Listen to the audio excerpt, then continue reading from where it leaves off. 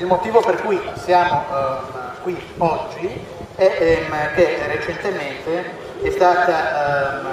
emessa una sentenza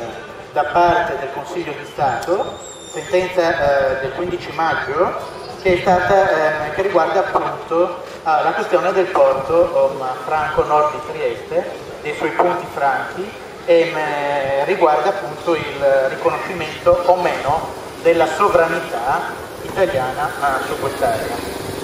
Questa sentenza è stata già commentata ma è stata commentata uh, in maniera distorta da parte degli organi di informazione locali e in particolare da parte del quotidiano Il Piccolo e ehm, quindi ehm, vogliamo spiegare alcuni punti fondamentali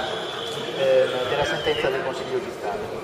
La sentenza è la numero 2780 del 2012 e secondo i proponenti la speculazione edilizia nell'area del um, Porto Franco, volgarmente chiamato Porto Vecchio, questa sentenza consentirebbe a loro di andare avanti con uh, questi progetti di riqualificazione e di riconversione del porto ad area urbana.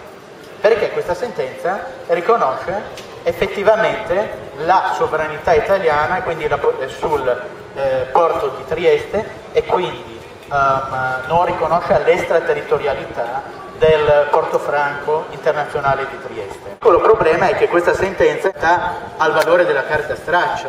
perché ehm, l'autorità italiana e l'autorità giudiziaria italiana non ha sul porto libero internazionale di Trieste alcuna competenza. Quindi questa è sì un'area extraterritoriale